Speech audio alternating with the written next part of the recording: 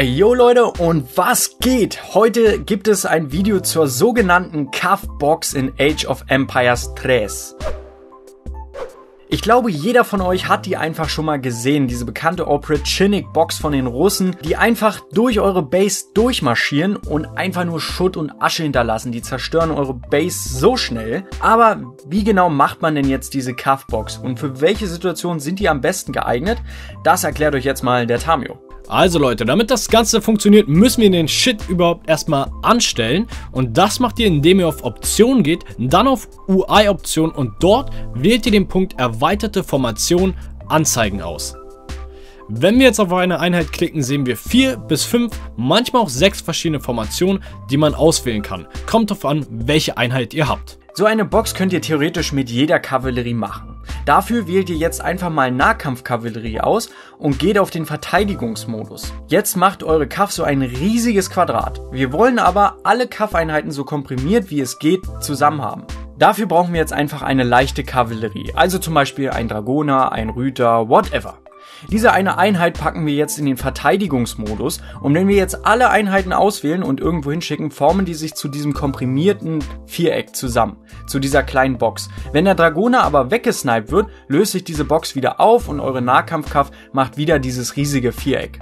Dann sollten wir am besten wieder in den normalen Modus wechseln. Dieses komprimierte Viereck, auch Cuffbox genannt, hat halt diesen fetten Vorteil, dass wir leicht durch die gegnerische Base kommen und wir können alle Kavallerieeinheiten auf ein Gebäude gleichzeitig schicken, ohne dass die erstmal sich drumherum platzieren müssen und dann halt erst anfangen, das Gebäude zu zerstören. Sondern die können halt wirklich in dieser Formation anfangen, ein Gebäude zu zerstören.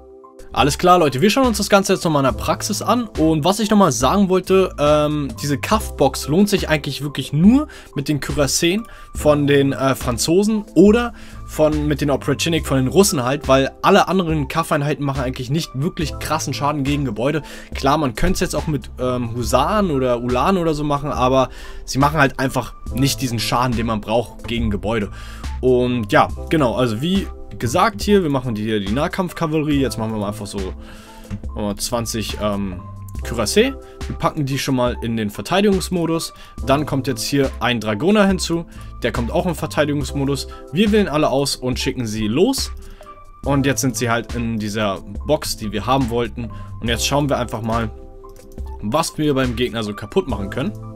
Was wir natürlich nicht machen sollten, ist jetzt, dass wir sozusagen hier ein Gebäude haben. Wir klicken es jetzt an, sondern dann fängt sich an, die Kaff um das Gebäude zu verteilen, wie man sehen kann, und greift nicht gleichzeitig an, was kacke ist, sondern wir gehen jetzt wieder zurück in die Kaff-Box, sondern wir laufen sozusagen an das Gebäude richtig nah ran.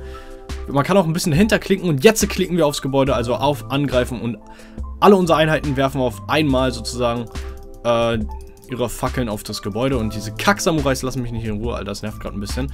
Aber wie gesagt, hier also sozusagen vor das Gebäude laufen, zack, und jetzt greifen wir an, wenn wir nah genug dran sind. Also sozusagen in das Gebäude schon ein bisschen reinlaufen.